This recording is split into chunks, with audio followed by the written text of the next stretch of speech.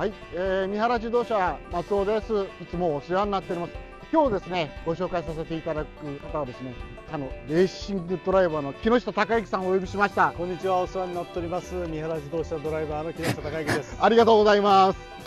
ではですね、あのせっかく三原グループ、はい会社に来ていただいたんで、まずあの三原自動車のちょっと宝物といいますか、作り上げてきた車をですね、はい見ていただきたいんで、そちらに参りたいと思います。はいよろしくお願いします。よろしくお願いします。うわー、お宝ですね、これは。ここは出来上がったやつを基本的にはしまうところにはいはいはい。なってまして、げえ。すごい。フィフィガロ、パオ、これ系も、ねえ、完璧ですよね。これでもあの B、パオ、はい。フィガロ、はい入れたじゃないですか、で町の飲み屋のお姉ちゃんたちが、フィガロ、フィガロ、フィガロって言って、そんなにフィガロ、フィガロ言うなら、手遅れやけどやってみるかって言ったら、意外と全国のフィガロのレストアの業者さんおるじゃないですか、は結構難儀しとるパーツがあるんですよ。ん。それうちそれ 3D プリンターで部品作ってこのメメッキモールあるじゃないですかはい。これ取り付けるのにちょっと特殊な部品がいるんですよ簡単じゃないんですよ、これ。簡単じゃないんですよみんなこれをきれいにはめるの苦労しとるらしいですよなかなか普通のはい。ショップではできないレベルですよね。でやっぱうちはやっぱりもともとメッキ屋やったっていうのがあるのでこういうパーツこういうをやっぱり、ね。こういうのはもう得意分野なんですよですね。この色ないですよねこれ六角クロムなんですよ。ヨーロッパこれ禁止なんですよねもうすでに。あ、この六角クロムっていうだけで、はい。今基本的にはヨーロッパは三角クロムで、うん一般昔はこれだったってことですあね。昔はみんなこんな色やったです。配色系は一番強いです今田に。それを再現できてるんですか、はい。これも全部そうですか？はい。あの逆に言うとやりすぎなんですよ これここまでやんなくてもいいのに、でも。ど、当時が六角クロムが当たり前だから、六角クロムに戻せって俺言い出したんですけど、そこまでこだわらんでもっては言われます。こんなのもさトムスのホイールは入っとるじゃないさ、いわゆるはいはいあー入れたですね。このキャップとか流行った。ないんですよ、このキャップが。見ないな。昔はね、これ流行ったけど、は見ない今。こだわってるっていうか、よく見つけていますね。いで、またこれ走らせたら面白いんだろうな、ターボ。ターボって。これもだってものすごくレアでしょ、R の。うわぁよかった。こんなの何台ぐらいあるんですか、日本で。チェリー自体個体がもうほとんどないでしょうから、うん。それに X1R ってなるとほとんどないんじゃないかと、日産のなんかそういう博物館みたいなところにあ一台あるかないかみたいなレベルじゃないですか。かもしれないですね。はい。これでも中もむちゃくちゃ綺麗なの、これどう、どうするんですか、これ。最悪の場合はもうもうシートの張り替えからなんか全部やりますけど、そこまで。物も良かったんですよ。だって、ダッシュボードが大体割れちゃったりはい。するじゃないですか。割れてなかった。です、ただあの割れたやつもうちはあの補修修復させますので。あ、そうなんですか。はい。え？なんか金属はね、なんとなくこう鉄板とかわかるんですけど、これもはい。直しちゃうんですか？はい。こんなの、日産のなんかイベントの乗ってったらみんなどうしちゃうんだろう。びっくりしちゃうだろう。ねえ。いや、こんなの日産に乗り付けてきたですね。でこの色は当時の白は今の白じゃないんですよね、だけどこのちょっとクリームクリームっぽいやつなんですよよこだわりでね。こだわりなんですよねただ白きゃいいって話じゃないよと。うわ、こんな綺麗なのあるんだ。これ、売り物じゃないんだ売り物です売り物なんですか？売り物なんですけど仕上げにお金と時間かけすぎて、えー売れないです売ったらすごい値段になっちゃうみたいな。でもなんかし失礼ですけど、なんかあんまり売れない方が嬉しいみたいな。いやあすみませんあの 正直なとこ在庫と言いつつ 俺のコレクションになっとるようなんかそんな感じがああり。ますだけどあの売れる時なんか悲しいですあ 売るとは言いながらも売れないことを祈ってる感じがしね。これももう苦労苦労のあのいろんな個体からパーツかき集めてうん。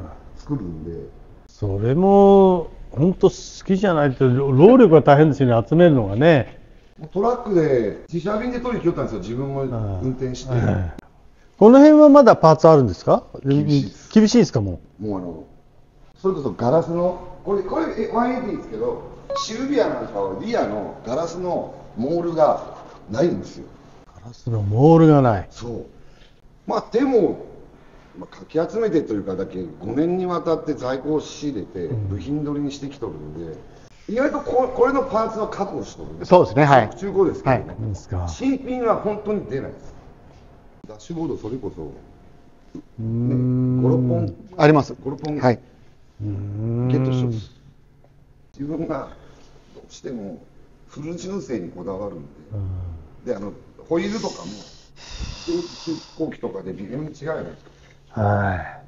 それももそれもこだわっちゃう。んですかで自分たちがこの気づかない時があるんですよね。はでも代表気づいてしまうんですよ。違うやんって指摘受けて。いそれは。特にあのスバルになるとあの ABCD に階があるじゃないですか。もうそれうがもう A もう。G まで下手すりゃ GC の8とかあるやん。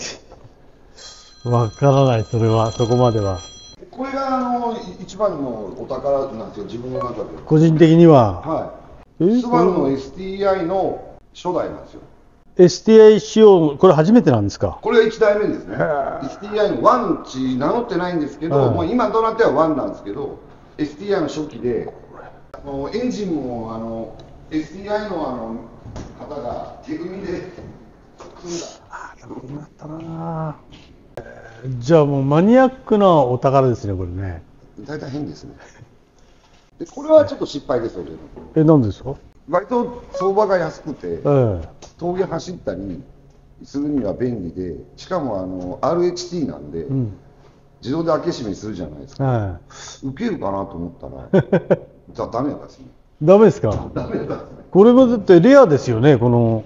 うん。だけどで私の頃じゃない方を仕入れとんですけど面白いんですけどねこれこんなのだってなんまず見かけないですよねこの。最近見らずないですね。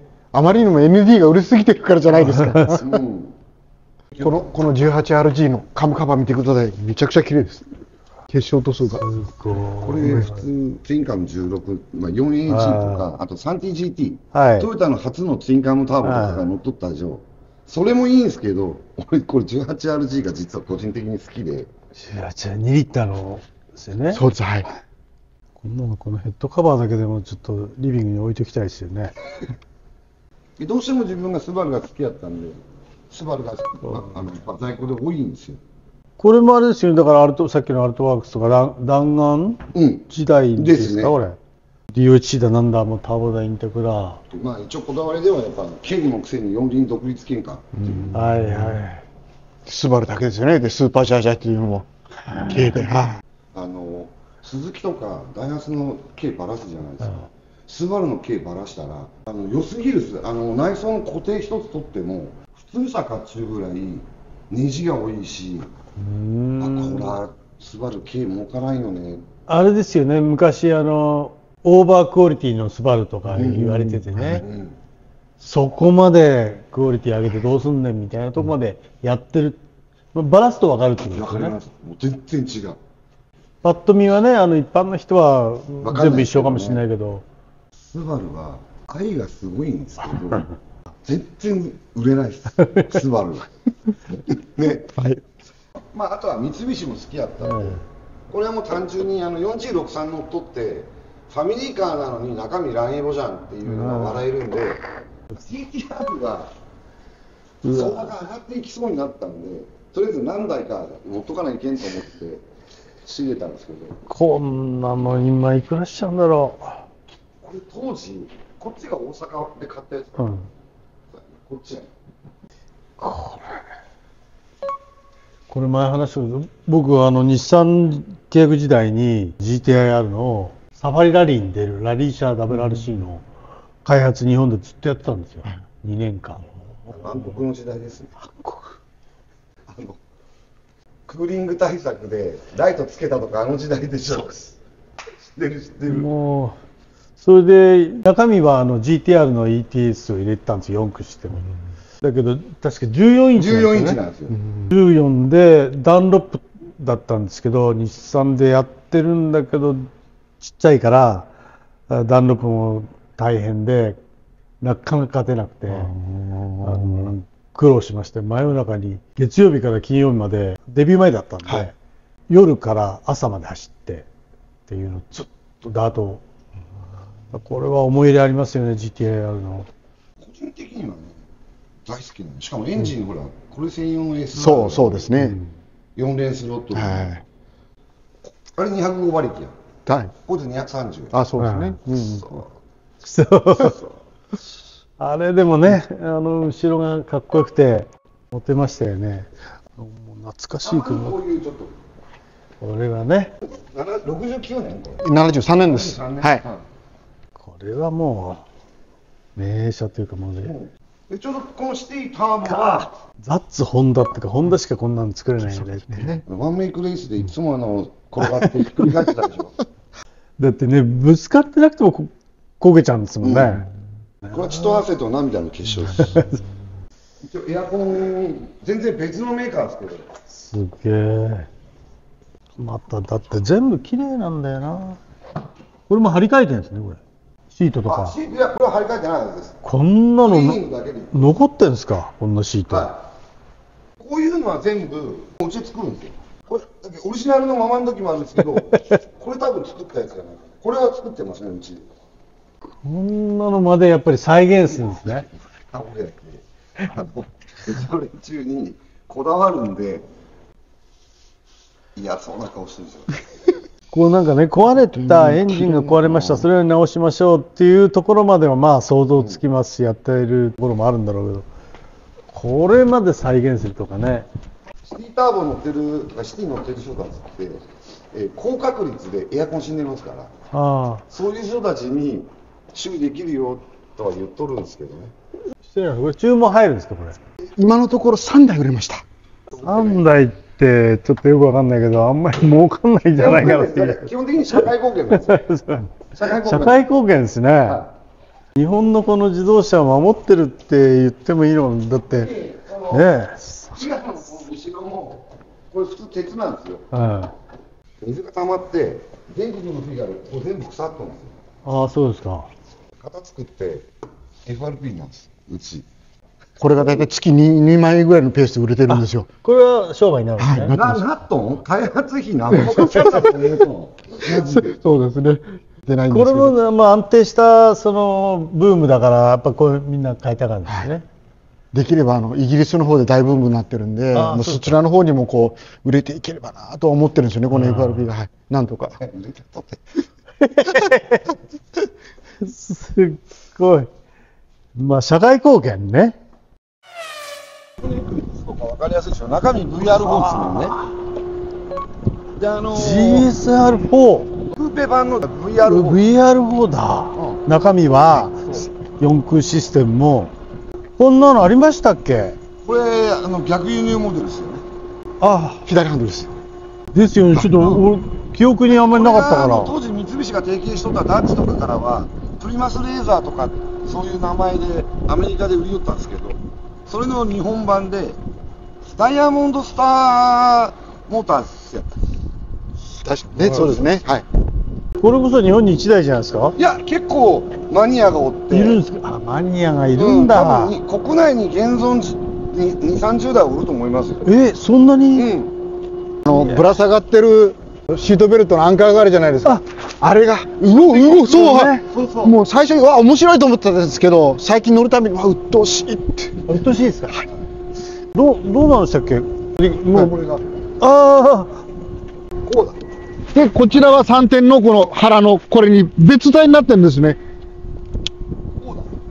ああ下は自分でやるんですね。これは自分でするんですよ。はいはい。こうこうね、このままやね。はい乗車して、はいああおおこうなる。えー、これ。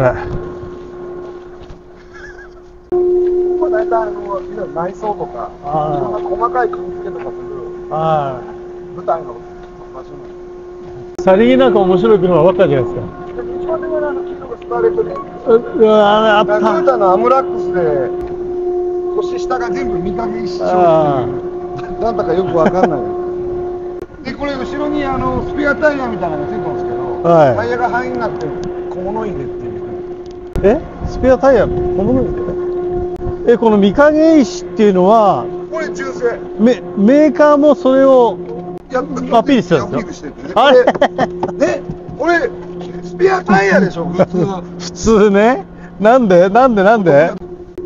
あ、そういうことです。はい。あ。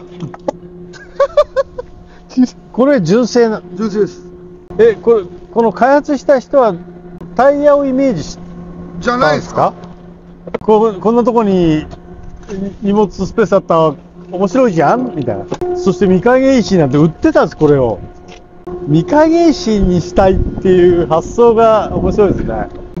あのこっちはあの従業員さんなんですよはい。通りでなんか新しいなと。だからじゃないですか、全部。懐かしいっていうか、ああ、こんなのあったみたいな、もうすっかり忘れてたのが。記憶が蘇ってくる。ここに来なかったら多分一生忘れたまま思い出さずに終わったんですよ。小学校の56年の頃からモーターファンのなんとかのすべてとかを買い始めたんですよ俺 FR の最後のカローラのさ、はいテールランプ見て前期と後期とかわからんやろ 俺一目でわかるんですよねあれ不思議と入り込み方が違いすぎるんですね。あの前期の方が高級感があって、